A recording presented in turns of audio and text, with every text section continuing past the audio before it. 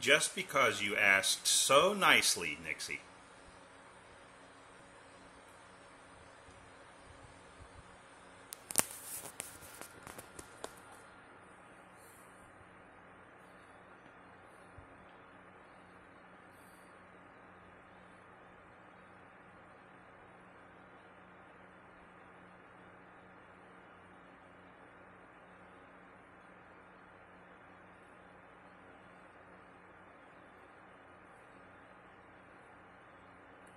As you can see, what it's doing is it's uh, drawing a SVG file using the XY axis plotting internal to the scope.